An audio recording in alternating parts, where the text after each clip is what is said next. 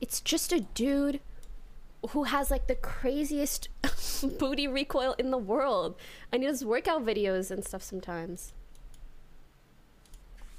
Thanks, Kyber.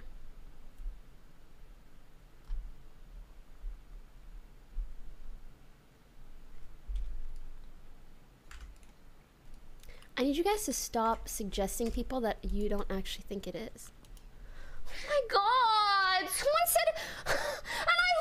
Looked too.